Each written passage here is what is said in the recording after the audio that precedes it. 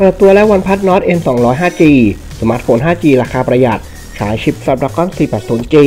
ให้จอ 90 Hz ให้แบต 5,000มิลลิแอมป์มีชาร์จเร็ว ในราคา 7,500 บาท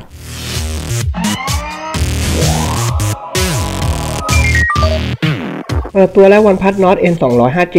สมาร์ทโฟน 5G ราคาประหยัด ใช้ชิป Snapdragon 480G ให้จอ 90 Hz ให้แบต 5,000มิลลิแอมป์มีชาร์จเร็ว ในราคา 7,500 บาท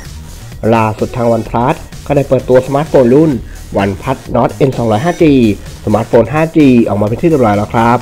ที่มีการดีไซน์สวยดูดี พร้อมรองรับการเชื่อมต่อเครือข่าย 5G อีกด้วยครับ โดยสมาร์ทโฟนรุ่น OnePlus Nord N 200 5G มีหน้าจอขนาดใหญ่ถึง 6.49 นิ้ว ความคมชัดระดับ Full HD Plus รองรับค่า refresh rate ระดับสูงสุด 90 Hz บนการดีไซน์แบบ Punch Hole Display ที่มีการฝังกล้องหน้าบนหน้าจอ สายชิปมวลผลควอคอมแต่ละประกอบ 480G 5G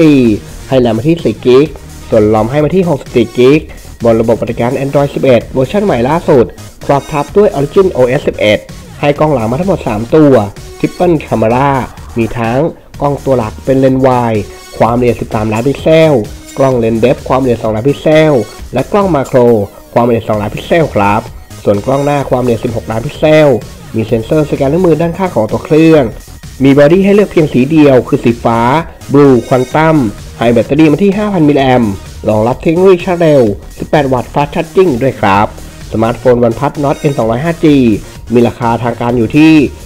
239.99 เหรียญสหรัฐ หรือประมาณ 7,500 บาทครับ โดยจะเริ่มวางจำหน่ายที่ต่างประเทศในวันที่ 25 มิถุนายนนี้เป็นต้นไปครับ ส่วนจะเข้ามาวางจำหน่ายที่ไทยด้วยหรือไม่ เราคงต้องรอดูกันต่อไปนะครับ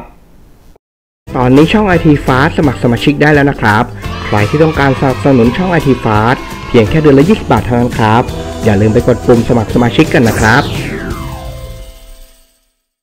ก่อนจบคลิปนี้ฝากกด subscribe กดไลค์เพื่อเป็นกำลังใจในการทำคลิปต่อๆไปด้วยนะครับ ขอบคุณครับ